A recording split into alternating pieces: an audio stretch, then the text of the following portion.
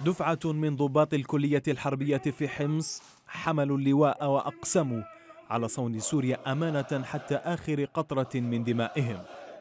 قبل أن تباغتهم مسيرات محملة بالمتفجرات.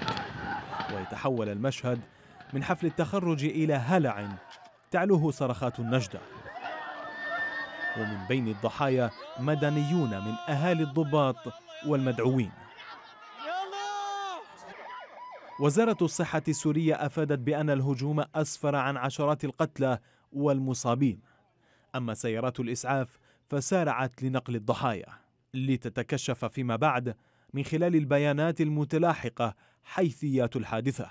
في سرده للأحداث قال الجيش السوري في بيان إن طائرة مسيرة محملة بالمتفجرات استهدفت المراسم مع اقتراب نهايتها وزارة الدفاع السورية أكدت أن حفل تخريج دفعة الضباط استهدف من قبل تنظيمات إرهابية مرتبطة بالخارج وتوعدت بالرد بقوة وحزم على ذلك الهجوم الإرهابي وملاحقة منفذي العمل الإجرامي.